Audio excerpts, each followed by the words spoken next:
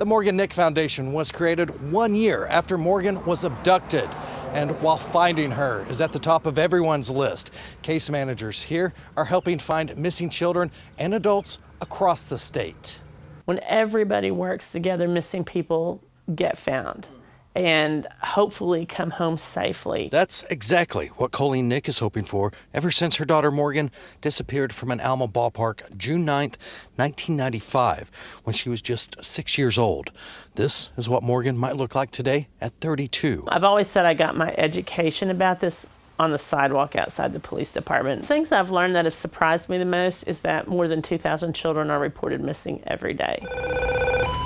Morgan Nick Foundation. Last year alone, case managers at the Morgan Nick Foundation worked more than 1,500 missing person cases across Arkansas, including children and adults. It doesn't matter how someone is missing, whether they're a runaway, a family abduction, a stranger abduction, a missing adult.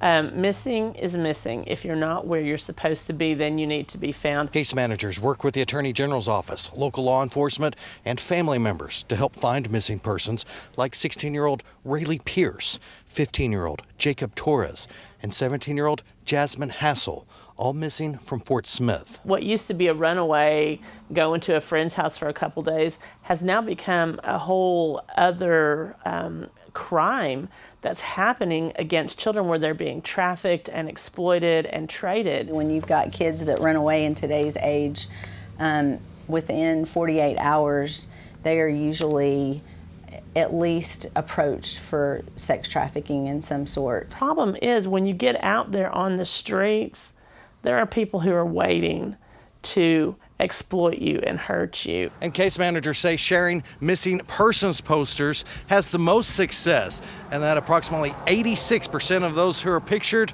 are found. Now, tonight at 6, we'll tell you how teachers in school districts across the state can help teach the same lessons taught here by the foundation workers when it comes to online and personal safety for children and teens.